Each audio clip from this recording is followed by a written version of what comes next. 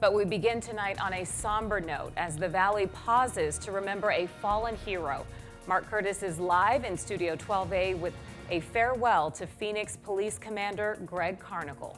Very sad day, Caribe. Today, those who loved Phoenix Police Commander Greg Carnicle said their goodbyes. Carnicle was killed in the line of duty just over a week ago.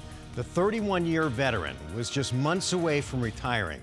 Team 12's Michael Doudna shows us how Carnicle's family and his brothers and sisters in blue came together to remember him.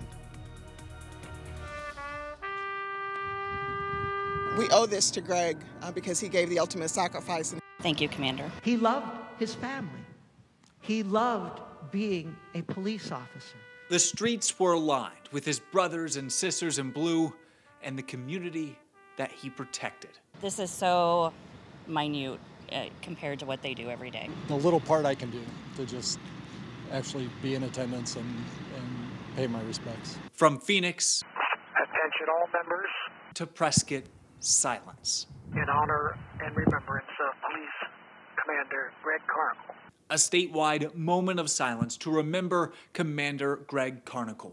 As you got to know him, he is truly a teddy bear. His crazy wit, his infectious laugh, uh, and, and honestly, uh, just a true family man. Because he was not that public person, he would say, Don't make a big fuss about this.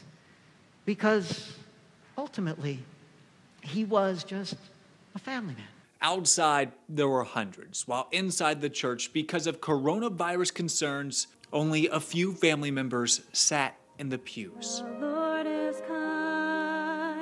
Carnicle's daughters served as the choir. His son read from the Bible as his priest spoke about a man taken too soon.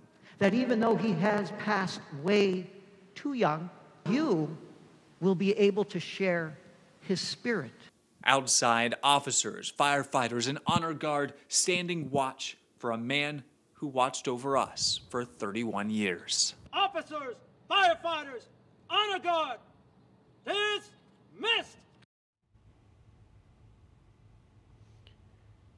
And of course, our hearts go out to his family tonight.